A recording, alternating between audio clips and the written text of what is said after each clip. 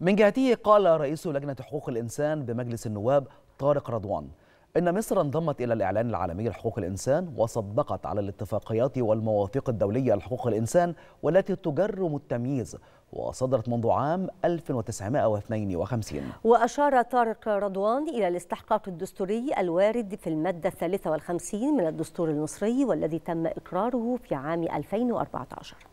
قطعا في ظل التحديات اللي مرت بيها مصر خلال الفترة الماضية ما نقدرش نحمل على نظام معين أو سلطة معينة موجودة في مصر. إحنا دولة خاضت تجربتين من الثورات تغيير أنظمة سياسية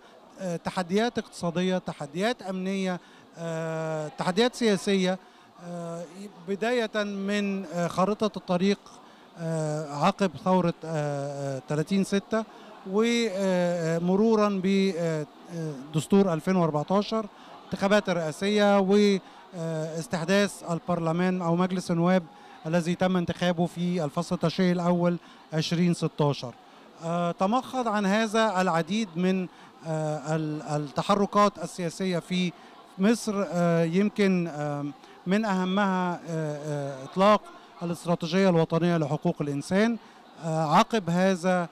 تم إعادة تفعيل لجنة العفو الرئاسي وكذلك أيضا إطلاق الحوار الوطني في منتصف عام 2022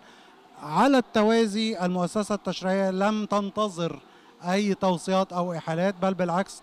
قمنا طوعية بتقديم قانون الإجراءات الجنائية وتم تشكيل لجنة فرعية من اللجنة الدستورية والتشريعية ويتم مراجعة هذا القانون الآن الذي تم الانتهاء من تقريبا 80% من مواده أو البنود الخاصة بمشروع القانون.